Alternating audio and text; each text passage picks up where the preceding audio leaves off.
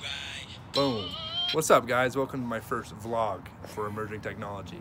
Today I'm going to be talking about a new technology that's come out and a lot of people don't know about it. It's called fatigue science, okay?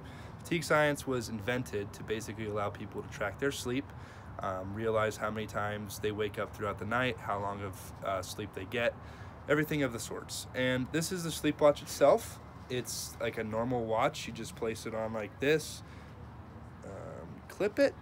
Whoa, whoa, whoa. Clip it like that, and boom, you're just wearing it. And it acts as a normal watch as well as a sleep watch. It tells your time. It also has your name on it when you swipe. Um, it's good to have your name on it because if you lose it, you know, someone will know uh, whose it is. And it's really comfy and it's just really easy to use and you don't have to think much about it. Now, when you wake up in the morning, go ahead, cameraman, come here.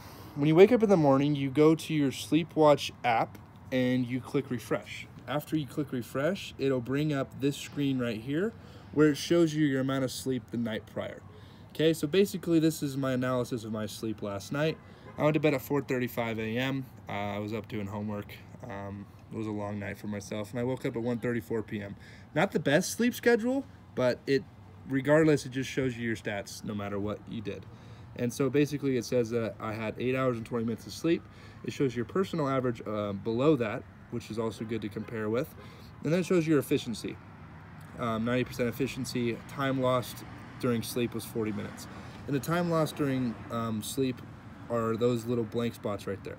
Those are the times that you were awake amidst your sleep and you have no idea that you were even awake. Um, it's really awesome. I think that moving forward, it's going to get really creative.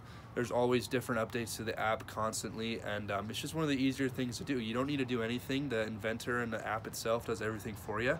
And yeah, it's something that's new, and I think that people should get a hold of before uh, these start selling out. So, fatigue science.